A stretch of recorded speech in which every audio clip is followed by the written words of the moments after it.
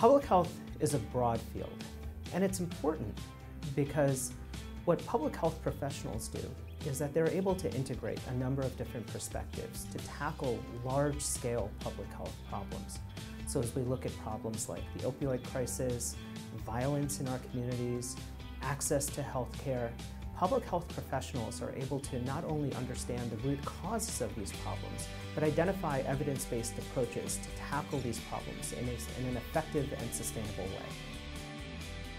Our program is unique in a number of different ways. First, the focus on urban health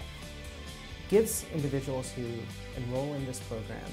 specialized areas of knowledge that will help them understand the drivers of health disparities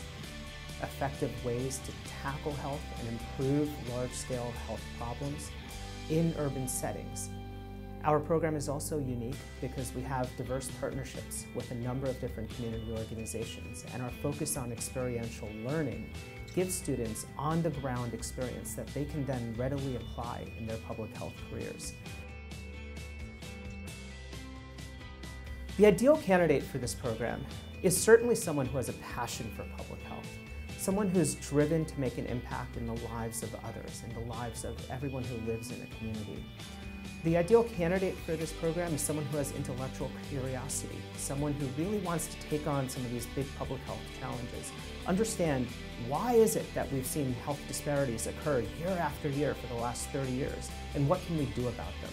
Someone who's excited about taking innovative approaches to public health and really embarking on new areas of public health